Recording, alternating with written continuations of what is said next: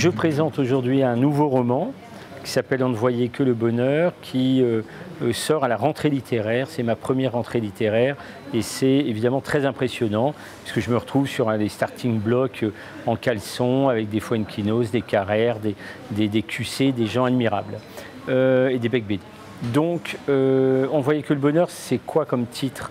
Que je trouve qu'un titre, c'est très important. C'est un titre qui vient d'un des chapitres du livre où à un moment le héros, dont je vais parler dans quelques instants, regarde des photos, des souvenirs. Ça dure très peu de temps, c'est pas embêtant, il n'y a pas 50 pages sur les photos qu'il regarde.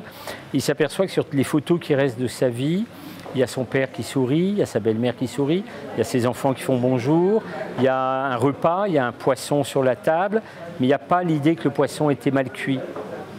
Il n'y a pas la belle-mère qui a dit Mais si, il était très bon votre poisson, et le mensonge de la belle-mère.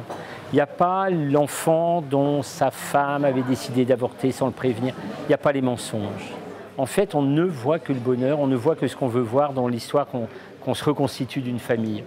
Alors, l'histoire de, de, On voyait que le bonheur, c'est l'histoire d'un homme qui s'appelle Antoine, qui a 40 ans, qui est assureur, dont le métier est d'expertiser, d'indemniser, de calculer la vie de quelqu'un, la vie d'un accident, une voiture cassée, ça vaut combien? Une femme écrasée par un train, ça vaut combien? Un enfant broyé par un avion qui s'écrase, ça vaut combien?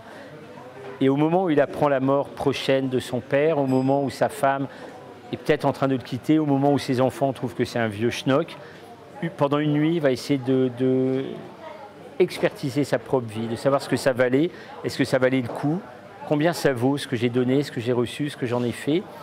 Il va arriver un résultat assez effrayant et assez irréversible.